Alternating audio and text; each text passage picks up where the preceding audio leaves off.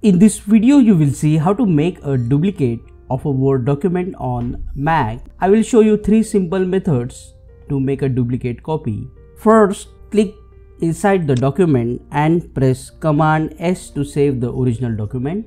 Now in the first method, go to the file option here and you will see the option of save as. We can make a duplicate copy using the save as option.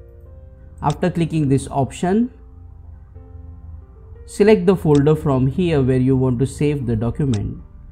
Now go to the end and just type 1 or anything to distinguish that this is a duplicate document and then click on save. So this will create a duplicate document.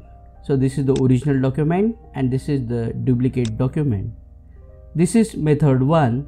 In the second method, you can simply click on the original Word document and on your Mac keyboard press command D and this will make a duplicate. You can see that this is a copy. And the third method is also a keyboard shortcut.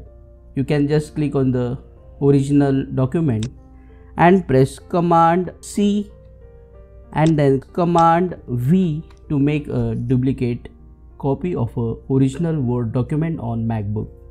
Click on that like button comment below and let me know if this video solved your problem and don't forget to check out these useful videos related to word on mac